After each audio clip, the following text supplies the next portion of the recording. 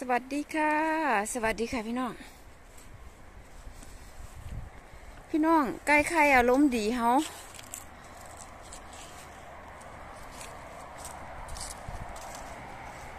นี่ค่ะพากันมาเซาโฮมอยู่นี่ สวัสดีเจ้าไก่น้อย เป็นยังไงล่ะ ใกล้จะมีลูกแล้วใช่ไหมใกล้จะมีลูกเจี๊ยบแล้วใช่ไหม อันใกล้ไข่อารมณ์ดีเขาค่ะพี่น้องค่ะมื้อนี้เดี๋ยวสิพาไปเบิ่งค่ะ มันมีอันไก่แม่ตัวหนึ่งค่ะ พี่น้องเจ้าฟันนี่เขาหมอบไหมค่ะ พี่น้องเขาหมอบได้ประมาณหามื้อนี้แล้วค่ะ พี่น้องค่ะเบิ่งพี่น้องใบไม้เริ่มเหลืองแล้วค่ะ พี่น้อง ใกล้ที่เขาหนาหนาวอีกไหมล่ะอยู่ออสเตรียนะเวเวลามันช่างมีค่าเหลือเกินค่ะพี่น้อง แป๊บๆนะตอนนี้พี่น้องเบิงแส่เบิงยังเขียวยู่บ่คะเนี่ยตอนนี้ยังเขียวอยู่ เดี๋ยวจากน้อยพอถึง น่าจะอีกเดือนนึงได้อะค่ะ พี่น้องเดือนนึงได้น่าจะได้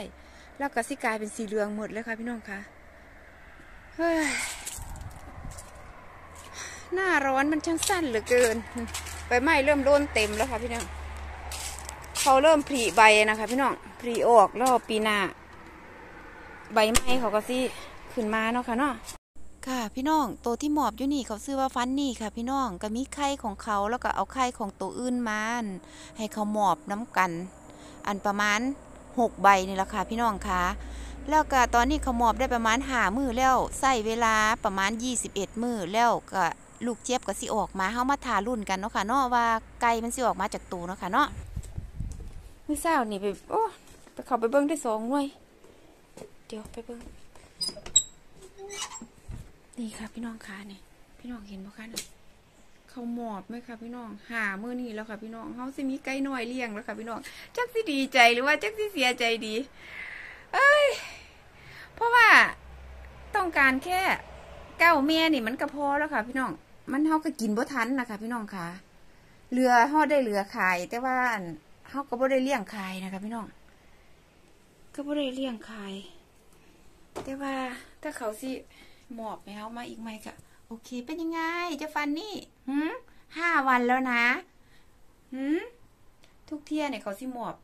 หมอบมือนี่บ่คะมือนเศร้ามาเพราะประตูมันเปิด เขาใส่ประตูอัตโนมัติเนาะค่ะเนาะเพราะประตูอัตโนมัติเปิดนะเขาก็สิแลนก้องจ้องก้องจ้องออกไปข้างนอกค่ะพี่น้องออกไปกินน้ำมูละมูก็แลนไปไปน้ากัน ลืมกลับมาไปนะเขาก็สิลืมกลับมาลืมว่ามีอันเจ้าของหมอบ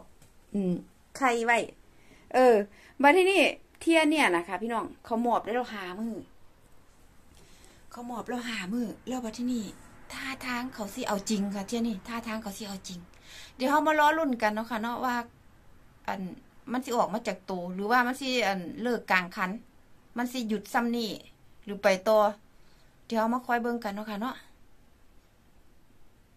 อะคลิปนี้ก็ไปแล้วค่ะพี่น้องค่ะ บ๊ายบายค่ะ บ๊ายบาย